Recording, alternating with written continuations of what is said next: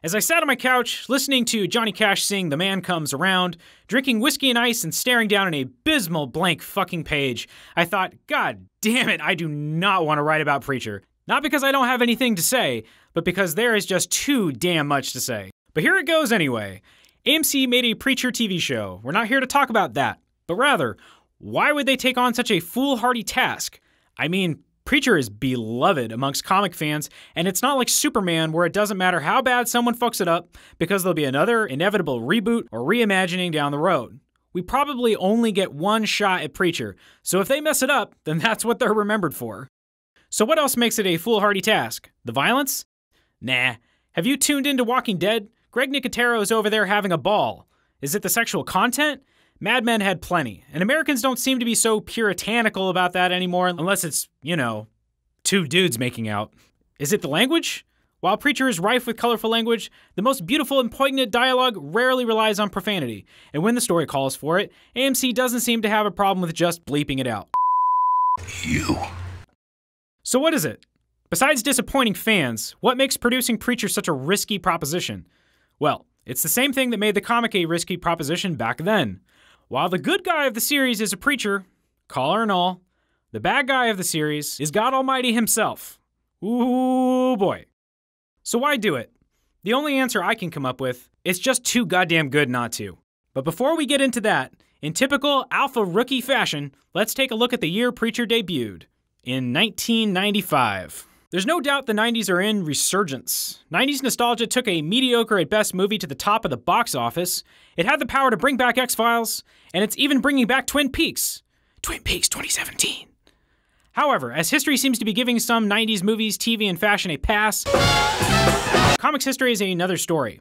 Most often described as the dark age of comics, the 90s are an equal parts fascinating and embarrassing era for the medium for obvious and not so obvious reasons. Guns, guns, guns.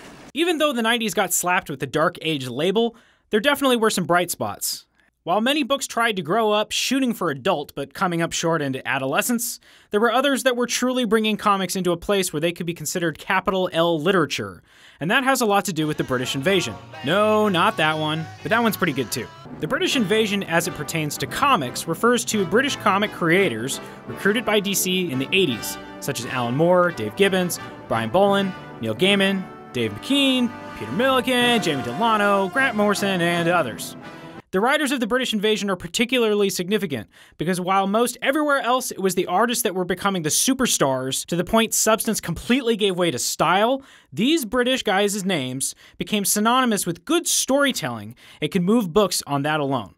Some of their names still move books today for the same reason. By 1993, these guys had so indelibly defined what their brand of comic book style was that it needed a name. And so DC created the sub imprint Vertigo, edited by Karen Berger, the person responsible for bringing over many of these artists to begin with. By 1995, the entire industry was in the twilight hours before the crash of 96, and a lot of the best selling books looked like this. Look at that, it's so extreme with two Z's because it's so extreme the Z's are silent. Amongst all that bullshit comes Preacher number one. Preacher was one of the earliest original titles published under the Vertigo imprint. Some of the more famous titles that defined the Vertigo era, like Sandman and Hellblazer, actually existed before the sub imprint was established and were carried over. And it's Hellblazer where writer Garth Ennis, together with artists Steve Dillon and Glenn Fabry, would develop the working relationship they would carry over to Preacher, reworking an idea they had for the Hellblazer title about the child of an angel and a demon. The rest is history. Preacher's 75 issue run, well, 66 issues, including miniseries and one shots, but you get the idea. It sold consistently well, made the transition to the trade paperback market, and was actually instrumental in cultivating that market. It is considered by most fans to be one of the few finite, long form comic series to be a masterpiece. I'm just stating the facts. So, what the hell is Preacher about? Preacher is about Jesse Custer, a disillusioned Texas preacher who becomes inhabited by Genesis, a powerful living idea created from the affair of an angel and a demon. Armed with the power to command others with his words, Jesse is compelled to find God himself, who has since abandoned heaven, and take him to task for his creation. He's joined by his ex lover Tulip and his bromance partner Cassidy, who also happens to be an Irish vampire. Together, they travel America and a little bit of Europe to find God, all the while encountering all sorts of obstacles along the way, including the Saint of Killers, Herr Starr, and the Grail, as well as Jesse's fucked up family. And I mean fucked up. But Preacher's wild premise is only part of what makes it so special. In the mid 90s, it stood in stark contrast to the mainstream books by having great characters, strong themes, a memorable story, and being actually, in fact, edgy in comparison. It also stood in stark contrast to its other moody Vertigo brethren by having a devilishly irreverent sense of humor. This is the book that has a character who eventually takes on the moniker Arseface, whose entire arc is sort of a satire on popular music and celebrity, and this is also the book in which a villain's character arc includes slowly and physically turning into a penis. So Preacher was edgy, irreverent, and took the piss whenever and wherever it could. But this is still not what has made it an enduring classic in my estimation.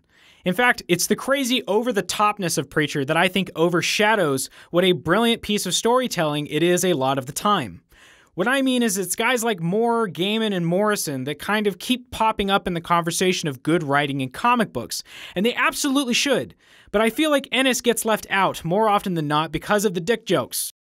Frankly, it's a bullshit attitude, and it's the kind of thing that has Hollywood handing over Oscars to the quote unquote serious movies year after year when there's infinitely more powerful, complex, and deserving recipients. One of these things is not like the other. So, yes, Preacher is hilarious, and if you don't have a stick up your ass, you'll have no problem admitting that. It's scathingly satirical in the best ways, and as long as you don't have delicate sensibilities, you won't have a problem admitting that either. Who told you I had delicate sensibility? Preacher is also an atheist text, straight up. So, at this point, you could be forgiven for thinking that Preacher sounds like a supremely cynical book. I hate myself and want to die. But that would be so, so far away from the truth. The truth is, while Preacher doesn't have much positive to say about faith in God, it has profoundly, sincerely positive things to say about people. Aleš Kot, writer of Zero, great book, has called Ennis one of the key humanist writers of comics. That really hits the nail on the head. Here's a good example. The subject of the Vietnam War comes up several times when dealing with Jesse's father, John. As a Marine returning from the war, John asks a young woman where to catch a bus, only to have that woman spit in his face and call him a baby killer. When dealing with the subject matter of Vietnam War veterans, the conflict itself, and its place in history, it would be so easy to only humanize the soldier who went through hell for his country and villainize the woman. It would also be easy to do the opposite and humanize the woman, justifying her rage at a conflict that took innocent lives. Instead, Ennis has them get coffee together, fall in the most intense kind of love, and end up making a baby together, that baby being Jesse Custer. Preacher's about the dogmatic pitfalls of faith, but it's also, as a result, about the freedom and honor in taking responsibility for your own actions. It's about how fucked up America can be, but it's also about how we should never abandon the American dream. It's about what it means to be a man, but it's also about what it means to be a man that has any hope of living side by side with woman. I don't know how you could get prettier. Uh, no. And that sometimes being a man means getting over what it means to be a man. It's about calling bullshit and making people own it, but it's also about forgiveness. I could go on for an hour about any of the things Preacher is about, but to send this thing off, let's take a look at what it says about the cowboy and the American identity. Preacher is a Western, no doubt about it.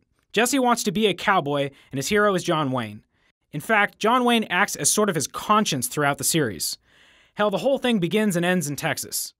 Preacher gets real into the idolatry of the mythical cowboy, but it never for one second forgets the reality of America's frontier history. If you need any proof of that, just take a look at the Saint of Killers.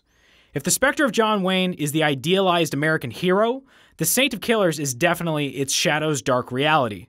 However, Preacher as a comic implores us not to allow the cynicism of reality to get in the way of romantic ideals. In one of the later issues, Ennis writes about the Alamo. Look too close and the legend cracks, but then that's legends for you. Was Bowie a slaver, a drunk, a psychotic? Did Crockett beg for his life before Santa Anna, for mercy that should never come? Are heroes nothing more than desperate men? No. To dwell on such things is to miss the point. Most times the world can be a pretty complicated place, but navigating it can be as simple as doing the right thing. There's right and there's wrong. You gotta do one or the other. You do the one and you're living. You do the other and you may be walking around, but you're dead as a beaver hat. For Jesse Custer, that sentiment is couched in his father's last words to him.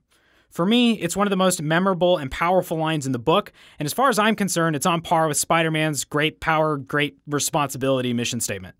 In fact, very ironically, given Preacher's subject matter, I quoted him in a letter written to my younger brother for his confirmation, and it goes like this You gotta be a good guy, Jesse. You gotta be like John Wayne.